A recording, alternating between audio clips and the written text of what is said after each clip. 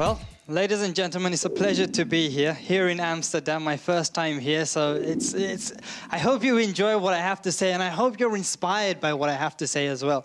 Because the key message I want to put across to you is the fact that, the fact that you're young, the fact that you can actually have a whole life ahead of you. You have to think open, you have to think big, and you have to think in a way that, wow, I can be extraordinary in this world. Because you, can't, you cannot grow up thinking that, okay, when you're 20 years down the line, when you're 30 years down the line, you cannot think that, oh, if only I did this in life, if only I took that chance there and then.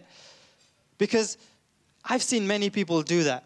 Many people miss chances and opportunities which they were given. And I don't want you, each and every one of you here, to, to miss that chance as well. Because let me tell you, let me tell you a story of where I grew up. I grew up in the borough of Tower Hamlets in East London. It's the second most poorest borough in the entire United Kingdom. I grew up in a family that doesn't work. My parents don't work. I've got younger brothers and sisters. And it was really difficult, really difficult to be able to grow up in such an environment because a lot of young people, although they went to school, they were seeing crime, violence, drugs as a way forward. And having grown up in such an environment, in such a, an economy, what I saw was the fact that I was able to work along with these young people, it was really, really difficult. Because let me tell you something. At the age of 11, I was diagnosed with epilepsy. And I thought to myself, wow, I can never achieve anything in life. I can never be someone I wanted to be because I always wanted to be successful. I had that passion, that vision, that determination to be successful. But ever since I was diagnosed with epilepsy, people told me, that's it. You cannot achieve anything in life. But no, it's about making impact, proving people wrong. When people say no to you, you prove them wrong. And so you always have to look up to someone, someone who's an inspiration. And so when I was 13, I looked up to my cousin who's a year older. And what he did, he set up his own business at the age of 14. He was incredible. At the age of 14, while still in school, he set up his own business. And I thought, that's extraordinary. So I just went up to him and said, Cousin, can I work for you? I took that chance there and then. And he gave me a job. He gave me a job to be a produ- production director. And what happened? What happened was, two weeks later, he sends an official letter through my home post saying, Dear Sabirul Islam, you're fired. I was hired and fired by my own cousin at the age of 13. Now, when you think about that, you, people get fired or hired and fired in their, in their 30s and 40s, but at the age of 13, it's, it's horrible. But you pick yourself up. When someone says no to you, or when someone says you're not good enough, it's that anger, that determination which you have to show to be able to, to believe in yourself that you can prove them wrong, that you are more than what they, what they see you to be. And so when I turned 14, I set up my own web designing company. I set up a company at the age of 14, and I didn't want to sell to teachers in school like my cousin did. I went out to big, big organizations within the city of London. And I saw, uh, I went to the likes of ABN AMRO, JP Morgan, Merrill Lynch, huge investment banking companies, and I signed a contract there and then. On the day, I just put on my suit with my friends and went over to the company, made over 2,000 pounds profit in the first two weeks of running my business. Why? And how?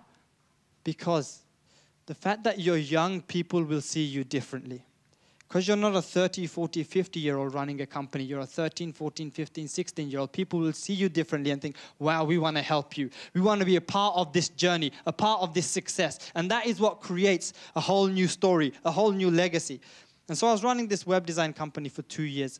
And then what happens? Once you create an opportunity for yourself, opportunity then comes to you. So at the age of 16, I was given the opportunity to go to New York to learn how to trade in the stock market. And I became a part time trader at the age of 16, which I thought was an incredible experience.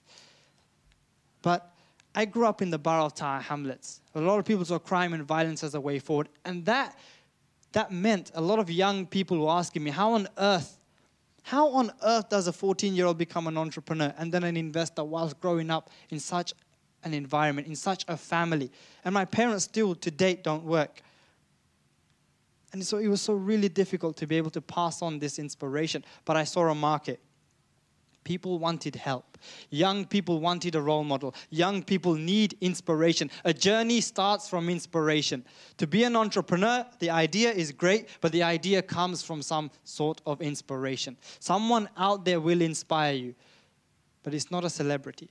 It's not someone really famous. Someone close to your heart, someone close to you who you're able to look at and think, wow, they've achieved something one step further than me.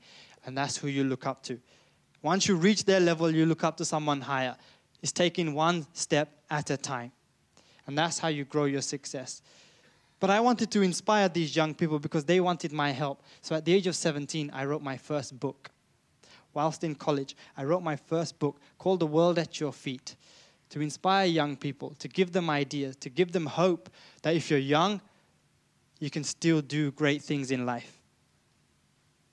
But the problem I faced with that book was I approached so many publishers, 40 in fact, and I got rejected by each and every one of those 40 publishers. Why? For two reasons. One, because I was 17.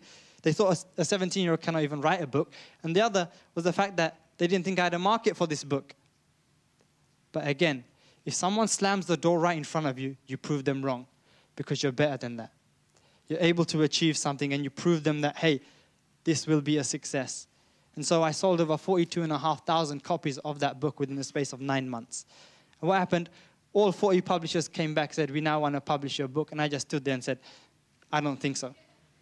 Because if someone doesn't believe in you, what's the point of you believing them? It's about having connections, making connections with the right people at the right time. Do a lot of networking with people who are able to help you, who are able to take your ideas forward. And so Marshall Cavendish, a publisher, came over to me 10 months later and said, We're now going to publish your book. It's going to be selling in bookstores across the UK. And I said, 10 months it's going to take to publish this book. So I had to do something within this 10 month period. As, an, as, a, as a young person, as an entrepreneur, you should never waste time. Always make something for time. Time is really precious. The fact that you're young, people want to help you and support you. So, what happened at the age of 17, 18, I got a group of 6, 11 to 15 year olds together and said, You know, what do you know about business? I've inspired so many young people, but it's about helping them, educating them about entrepreneurship. So at the age of 18, I launched this the Teen Entrepreneur board game to educate young people about entrepreneurship, how to run a company. Because not everyone sets up the same business in the world, not everyone has the same amount of money to set up a business in the world, and it's portraying real life business within a game. To educate you that entrepreneurs can set up a business with limited amount of money and still be more successful than those who have thousands if not millions of pounds in their bank. It only takes a good idea a smart brain and someone intelligent to go out there and make something happen you need good connections, right people. And this game is now selling in schools across the UK as part of the qualification. And why? Because when someone sees your product, someone sees you, they want to help you. They want to make you even more of a success than you are. And that's why it's important. So, having launched the book, I've got interest from all, all around the world. Having launched the game, it's now selling in schools across the UK and around the world. But I always had this vision that to be able to inspire and educate young people, you have to take them on a step by step process. Inspiration is great, the next step is education how to actually educate them about entrepreneurship, giving them that belief, giving them that, that knowledge of how to actually set up a company, how to create this name, this, this personal brand, how to actually go up and set up a real business. Because I've had a lot of young people inspired, but they always came back to me and said, We want more. What is next after inspiration? And so I launched these, the three books Teen Inspiration, Teen Intelligence, and Teen Innovation to teach young people a step by step process on actually how to set up a real company. And so I'm not just inspiring, but I'm also educating and giving them the opportunity. So it's your opportunity to take that step forward, to make that jump. But the greatest thing is, once you create an opportunity, like I said, opportunity comes to you. I took a punt at a magazine. I paid 600 pounds to be on a magazine which I didn't know how I was going to really succeed on or where it was going to go. But he went out to universities across the UK. And six months later, I get a call. I get a call from the wife of Nigeria's first president that she wants me to go and speak in Nigeria to inspire 3,000 people in Nigeria. And I thought, wow, I never thought I'd ever get this call. I never thought anything, especially from the day I received that letter from my cousin, all it saying was, Dear Sabirul Islam, you're fired from that day on, it was that anger and determination that led to this string of events. And that is important. Once you walk through one door in life, once you craft an opportunity for yourself, 10 more doors open. You don't know where, you don't know when, but they will. And that is really, really important. So, having gone to Nigeria, the first thing I saw when I stepped out of the airport was a massive billboard with my face on it. I felt like a celebrity in that country. Everywhere we drove past, you'll see my face. And it was incredible. I would have never thought that I'd be such a huge name in Nigeria. But why? Because I took risks.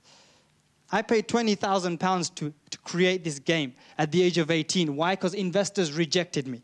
They thought my game would not sell. Yeah, I proved them wrong. I paid 600 pounds to be on a magazine which I never knew what, what, where it was going, how it was going to target the market. But hey, I took a risk. And risks often pay off. When they do pay off, they pay off big time.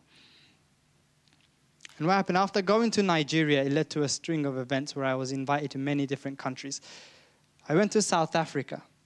I went to South Africa earlier this year, and I spoke at around 13, 14 different events, reached out to two and a half million people in South Africa, all in the ages of 13 up to 25. And it was incredible. So many people came back to me wanting my autograph, wanting help on how they could actually become entrepreneurs. And the greatest thing is, once you create this form of, of legacy, or once you create this name for yourself, you'll receive so many wedding proposals. It's incredible. And that's, uh, that's the, the, the, great thing about it. People will want to be like you, people will want to help you. They, they, they think that you're, you're someone so incredible that, wow, I wish I was in their shoes. And that is the, that mentality you have to have. So from January onwards, I thought to myself, I've reached out to millions of people around the world, but how many have I actually inspired?